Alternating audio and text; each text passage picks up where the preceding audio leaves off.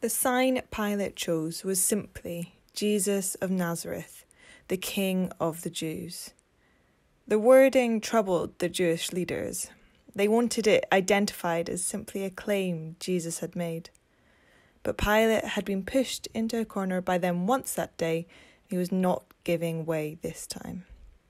Pilate, a man with blood on his hands, was used by God to declare the truth of who Jesus was and is.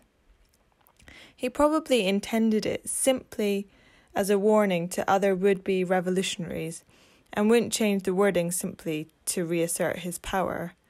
But God used his stubbornness. Those passing by were given a glimpse of the truth of what was happening. Perhaps even the thief, the one who asked Jesus to remember him, had glimpsed the sign through bloodshot eyes, prompting his plea to Jesus to remember him when he received his kingdom.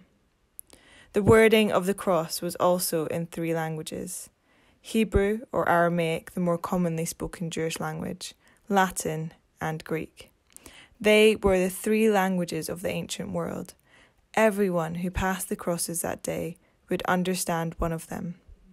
The languages represented the cultures too. Hebrew, the language of faith and theology. Latin, the language of power and government. Greek, the language of art and culture. One message, many languages. God was determined to make sure his message reached everyone.